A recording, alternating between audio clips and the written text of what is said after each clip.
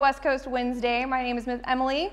And I'm Miss Megan. And we are from West Coast Swing Online. So we are going to get started today with some styling, and then Brian B is going to bring some musicality into your life later. So first, let's go ahead and get started. We, uh, we often get the question, are we all good? Cool. We often get the question, uh, how do we look less robotic?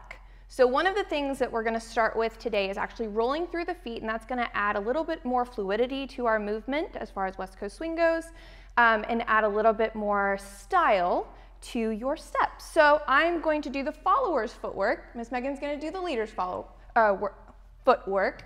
So we're going to start just in place. We're going to roll through the feet, so the toe to the heel, toe to the heel. Then we have our triple step, triple step, and triple full step. So let's roll through our feet again.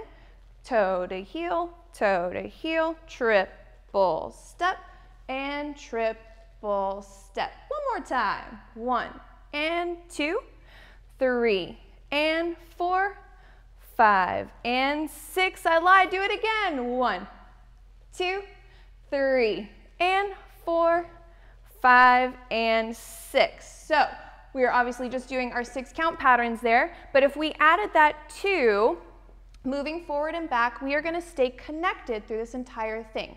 So what this enables us to do, whether we're going forward or backwards, Megan's gonna go backward for the leader, I'm gonna go forward for the follower. I'm actually gonna go through the feet, so we're rolling through the feet. I'm gonna go heel to toe, Megan's gonna go toe to heel.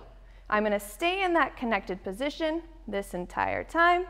And then if we went the other way, so we both have to go each way because with West Coast Swing, thank you, we have both connections. So from here, when we go into this, one thing that's going to be super important uh, is the connection on the four and the six. So we are going to do a couple of stylistic walks for us, and we're also going to do some anchor variations. But what we need to achieve is that connection by four and six, four for a six count pattern and six for an eight count pattern. So if we did that, we have one, two, three, and four. We're gonna lock into place. And at this point, once we add a little bit of style to our anchors, we can pretty much do whatever we need, but we need to find that connection first. So we'll anchor step. If we did a right side pass, we're gonna find the same thing. So one, two, three, and four, five, and six. Do that one more time, the other side. One, two, three, and four. We find that connection and click in. Five and six. So you'll notice we go back to the walking for a second.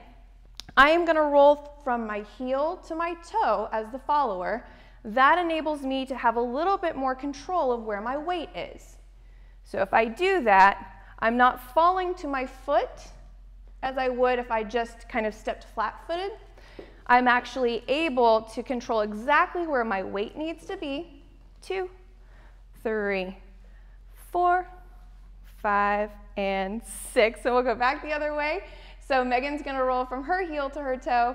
I'm gonna go toe to heel, two, three, four, five, six. And I believe there's a whole bunch of different videos on West Coast Swing Online that goes through rolling through the feet, mm -hmm. uh, rolling count, all of those fun, stylistic. Some different footwork to roll through the feet as well. Yes. So from there, let's go ahead. Are there any questions? Okay, cool. We're gonna try this again a few more times because I really want you to focus on finding that connection on the four and the six. So we're gonna do a sugar push again.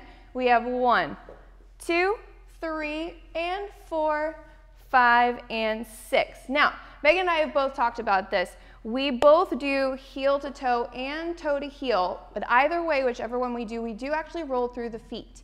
So that enables us, again, to know exactly where our weight is. So if it's a faster song, a slower song, that kind of enables us to choose which one we're going to do. So I'm gonna do the toe to heel this time instead of the heel to toe as I step forward. One, two, three, and four, five, and six. So I still have the same control weight-wise as I would if I was doing heel to toe.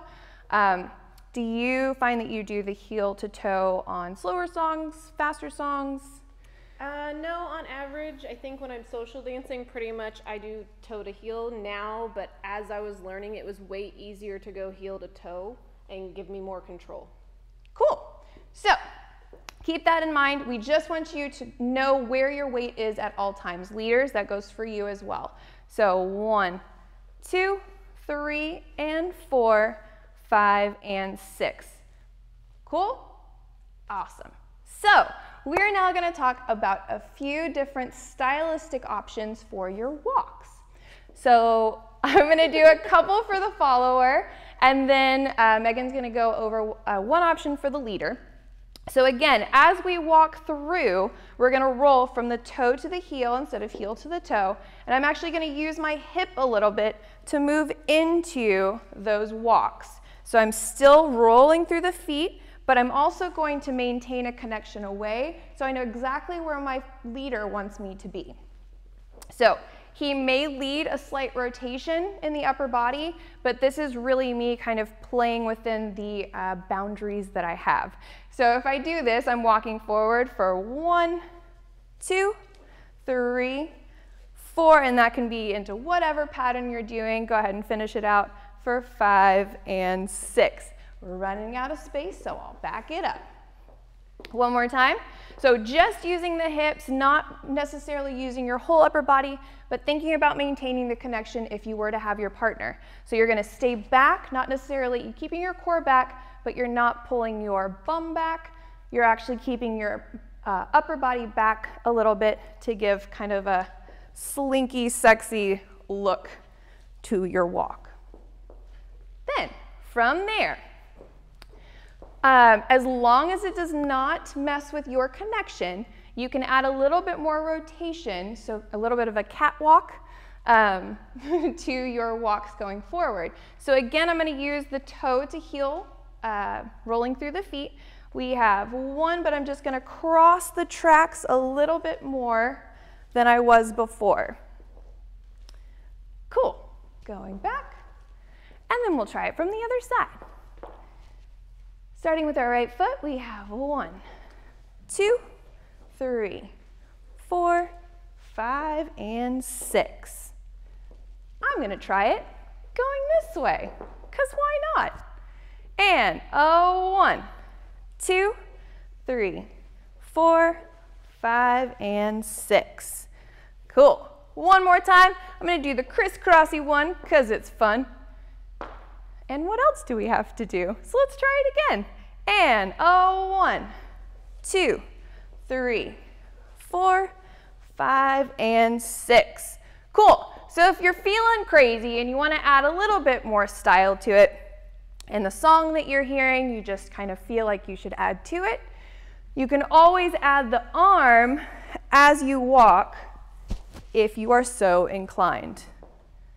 But if you're not feeling that, go ahead and just work on the feet that's totally cool too.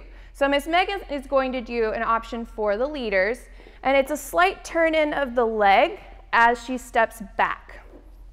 So those steps can be big, they can be a, little bit smaller, but again, make sure that you maintain the connection with your partner in whatever you're doing. So whether you're extending a pattern, a couple more walks to make an eight count pattern, a six count pattern to an eight count pattern, or you just feel like you want to hit a one sometime and you need four walks instead of your two. That's an instance that you might use some extra walks. So, leaders, go ahead and uh, actually, do you want to rotate this way so you do it? This way? No, like towards the camera so you can see your legs. Going that way. Either way. so you'll see as she takes her steps back, she is moving her knees to the inside of the body. So the inside, inside, inside, and again, and walk, two, three, four, five, and six. You'll see Brian B do this a lot when he's grooving.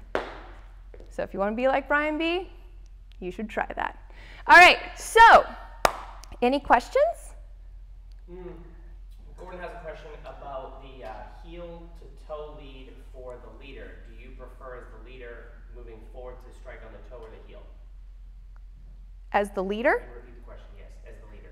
On So, fourth step. what was the question? On Do you prefer to strike on the toe or heel moving forward as the leader? Oh, as the leader, do I prefer to move uh, heel to toe or toe to heel as the leader? Yes, Uh, on four. Heel to toe, mainly. Yes. So depending on the song, depending on the feel of it, if I have to take a big step, if I have to take usually any step, it's going to be your heel. One, Two. I don't know why I'm counting. and four, five, and six. If we were to do that slowly on four, so we have one, two, three, and four. From here, I, I can't really take any other step back, so I'm going toe to heel. This enables the leader to know exactly where I am, and I know exactly where he is on that four before the anchor. So heel to toe is the way to go. that rhymed. Any other questions? Nope. Cool. All right, so we are now going to add some variations to our anchors.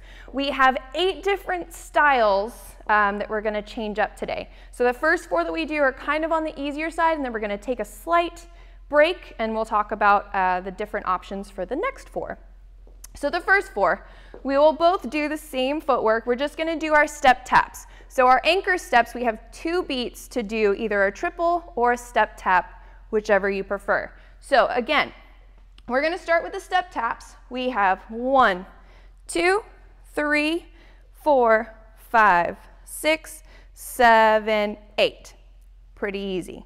We're gonna do all of these for eight counts, and later on I'll give you a song that you can actually practice all of these to, which works out perfectly, and it's a great tempo.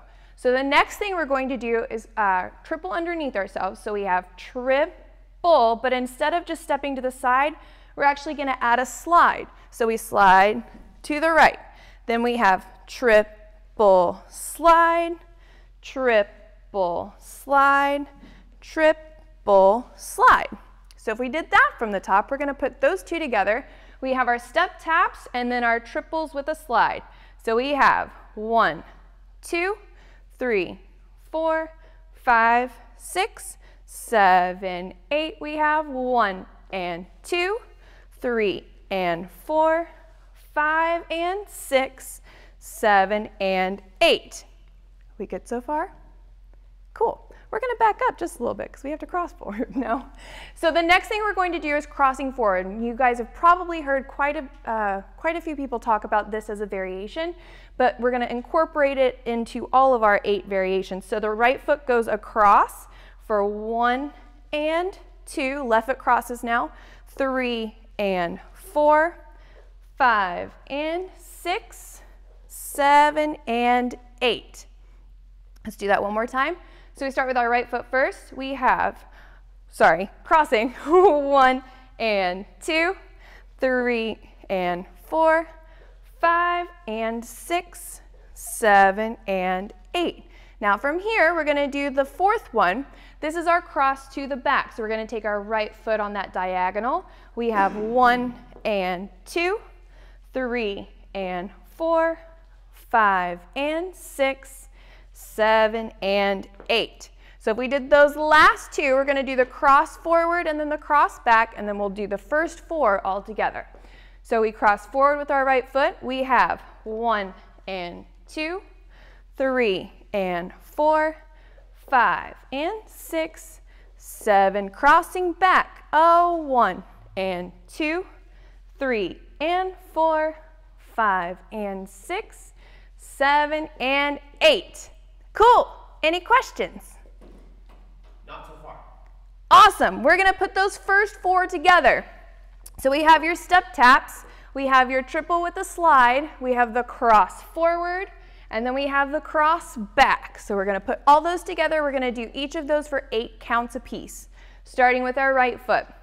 So we have our step taps. We have one, two, three, four, five, six, seven, eight, triple one, and slide, three and four, five and six, seven and eight, cross front, one and two, three and four, five and six, seven, cross behind, a one and two, three and four, five, and six, seven, and eight. All right, so that is your first set. The second set gets a little bit more tricky because you can add a whole bunch of different options. So one of the things that you can change as far as styling goes are your levels. You can either go down, you can go high, you can stay the same, but you can also go to the side. So one of the things that the next four are gonna do are going to play a little bit with the levels. So the next one we're going to do is a dip and a tap. From here, you're gonna dip below, and this can be as wide as you would like it. You have dip and tap, dip and tap, dip, tap, and dip and tap. So you see that Miss Megan is adding a little bit more of, your, of her shoulders into it, which is totally cool. We're gonna do an isolations class later on, which will cover all of that good stuff. So you can add as much of the upper body as you like. Again, don't mess with the connection. So let's do the dip again. We have one, two, three, four, five, six, seven, and eight. This is probably gonna be the trickiest one coming up. This is gonna be a syncopated um, anchor step. So, yeah, I guess we'll do this. From here, we've just done our step taps. We're gonna step on the and. So we have and one and two. We tap there and then we replace the weight. And three and four and five and six and seven and eight. So let's do that a couple more times.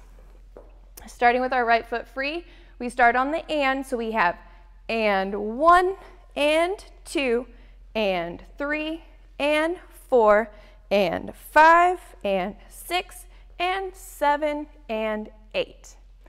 So let's put those two together. We have the dip tap first. That sounds a little weird.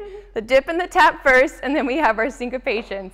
So starting with our right foot again, we have dip and tap, three, four, five, six, seven, eight, and one, and two, and three, and four, a five, and six, a seven, and eight.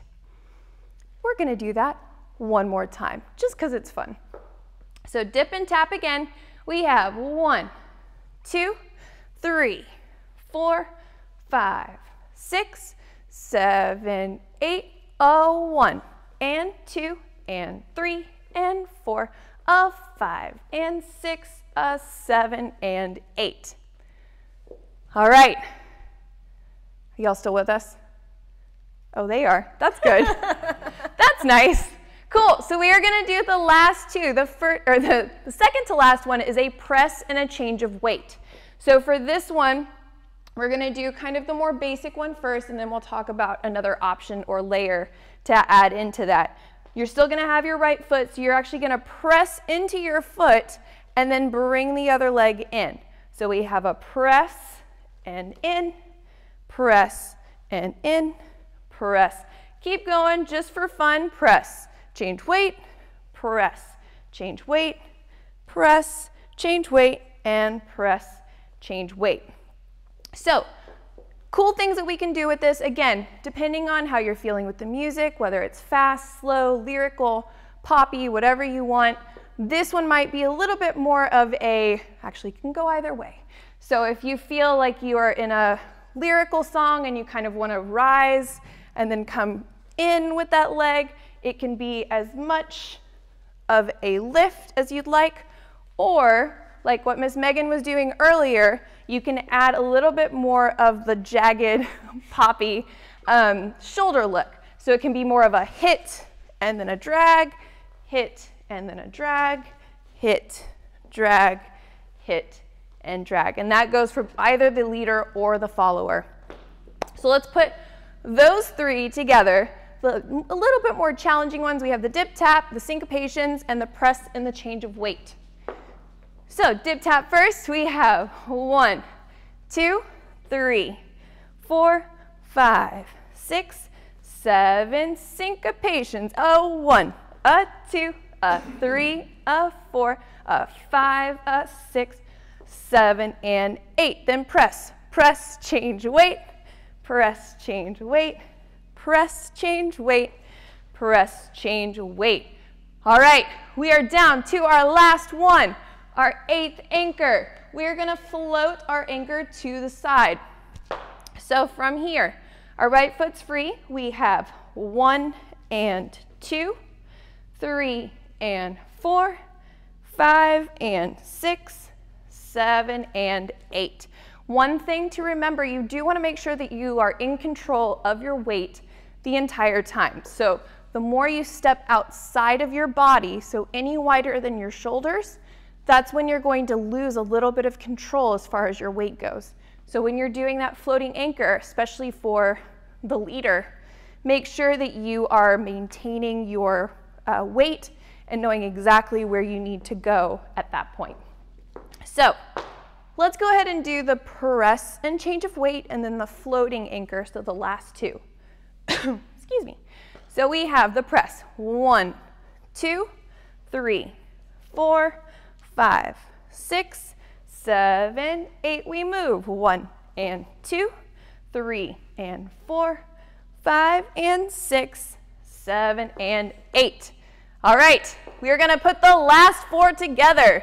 So we've got our dip tap, our syncopations, press and change of weight, and then our floating anchor, and then we're gonna try all eight together. So dip tap first. We have a one, two, three, four, five, six, seven, eight. A one and two, a three and four, a five and six, a seven. Press. A one, two, three, four, five, six, seven, eight. We move. One, a two, three, and four, five, and six, seven, and eight. Ben, do we have any questions? Cool. We are going to put all eight together. So let's go through this. We have our step taps. We have our triple with a slide. We have our cross forward, our cross back, and then we added the little bit uh, more challenging anchors. We had the dip tap, we have the syncopations, the press with the change of weight, and the floating anchor. So let's try that all together from the beginning, starting with our step taps. Easy peasy. So we have one, two, three, four, five, six, seven, eight, oh, one, and two, three, and four, five, and six, seven, and eight. Cross front. One, and two, three, and four, five, and six, seven, and eight. Now back. One, and two, three, and four, five and six, seven, dip, tap, dip, and tap, three, four, five, six, seven, syncopations, a one and two, a three and four, a five and six, seven and eight. We press one, two, three, four, five, six, seven, eight. We move one and two, three, and four, five and six, seven and eight. So that is all eight put together for you. It's a really good way to practice all of those different anchors. Um, I believe Brian B has posted a link underneath this for Intentions by Justin Bieber. It's a really, really good, slow, steady beat um, song, which is a really, really nice way to practice all of these um, in a consecutive manner. So, are there any questions? No. Cool. Then we are going to sign off. Stay tuned. Oh, I'm just kidding. Um, there was a request to show how to Yes, so we are going to do that, and that's actually going to be in a separate video coming up. But for a couple of them, really, uh, as long as you maintain that connection on the four, followers, you click into place, and leaders, you make that connection on four or six. You can do whichever anchor you would like within reason. So if we did one, one, two, three, and four, five, and six. Miss Megan did hers, I did mine. Oop. Do it this way. We'll try it this way. We'll do a float. So one, two, three, and four, five, and six.